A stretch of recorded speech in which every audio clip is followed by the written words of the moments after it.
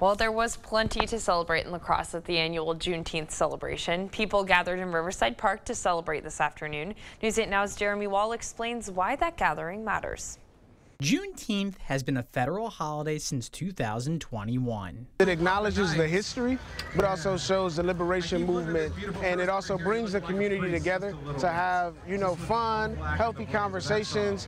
That same year, La Crosse started hosting its event. I'm originally from Milwaukee, Wisconsin, and we do a celebration in Juneteenth um, often.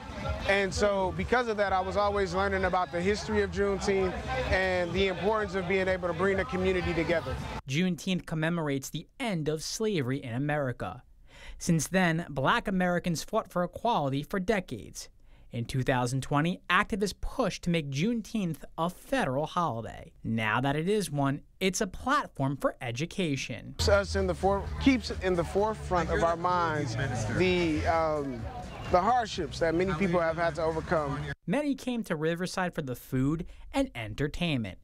Angelina Mayu comes from Tomah. We don't have things like this around here, so any chance we have these cultural events, I want my children to partake and be a part of it. She brought her kids to teach them what matters. I want them to be aware of who they are, where they come from, and the essence and how important it is to make a difference and participate in our community. Cross, Jeremy Wall, News 8 Now. And the Juneteenth celebration will also host a ball later this summer on August 6th.